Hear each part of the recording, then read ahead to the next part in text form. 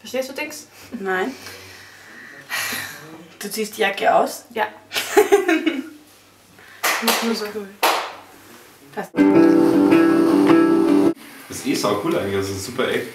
Das ist beim Brunnenmarkt. und- Wir haben noch vorher einen zweiten. Ja, das war mein. Ja, also, das ist dann gesagt. Wenn das ausschaut, wenn wir den zweiten machen. Okay. Wieso? Das ist leider